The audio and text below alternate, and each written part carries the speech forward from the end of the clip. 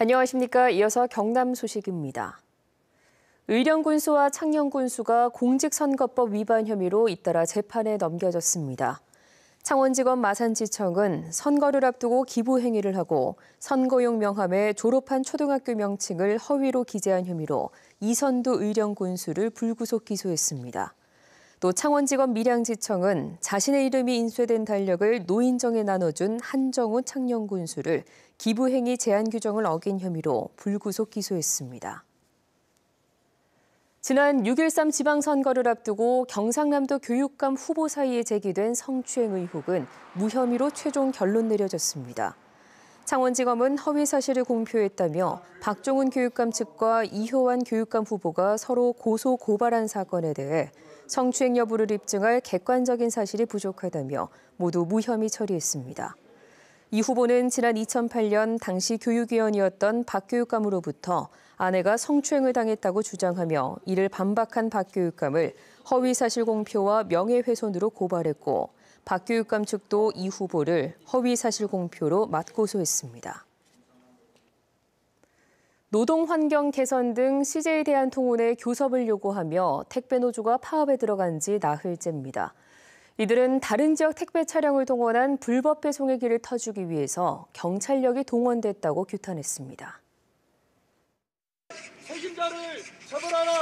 처벌하라! 처벌하라! 처벌하라! 네! 저도 한 집안의 엄마고 아내입니다. 가정의 생계와 큰 목표를 위해서 열심히 달리고 노력하고 있습니다. 저희는 인간 대접을 받지 못하고 있습니다. 사측에서 받지 못하는 인간 대접은 경찰관들에게까지 당해야 한다는 것은 정말이지 울고 또 울고 또 울어도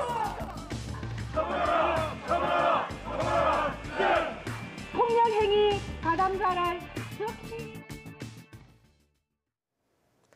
통영해양경찰서는 오늘 오전 10시쯤 국도 근처 바다에서 그물을 올리다 팔을 다친 선원 54살 김모 씨를 헬기로 구조해 병원으로 옮겼습니다.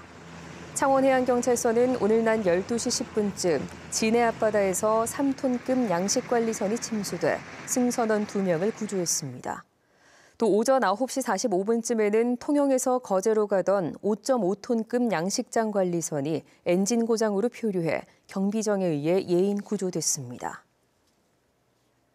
오늘 새벽 2시쯤 함양군 수동면 광주 대구고속도로 산삼골 휴게소 근처에서 외제 스포츠카가 15.5톤 화물차를 들이받았습니다. 이 사고로 스포츠카 운전자 31살 김모 씨가 그 자리에서 숨졌습니다.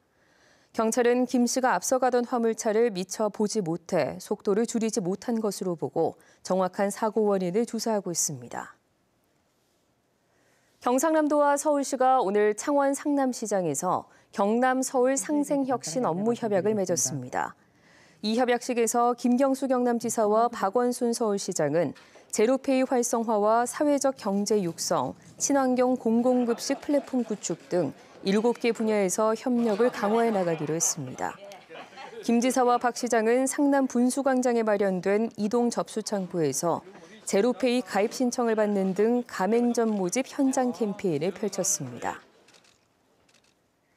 경남 지역 아동 수당 지급률이 96%를 넘었습니다. 보건복지부는 지난 9월부터 이달까지 석 달 동안 경남의 아동 수당 신청자 수는 16만 7,300여 명이며 이 가운데 96.3%가 한 달에 10만 원의 아동 수당을 받았다고 밝혔습니다. 신청자 가운데 1.7%는 소득과 재산 기준 등이 충족되지 못해 탈락했습니다. 아동 수당은 소득 인정액이 3인 가구 기준으로 한 달 1,170만 원 이하인 6세 미만의 아동에게 한 달에 10만 원씩 지급됩니다. 경남은행 장기 경상남도 기관축구대회가 오늘과 내일 이틀 동안 창원 지역 운동장에서 열립니다. 이번 대회에는 경남도청과 창원시 등 기관과 단체 소속의 아마추어 축구팀 25개 팀이 참여해 실력을 겨룹니다. 지금까지 경남 소식이었습니다.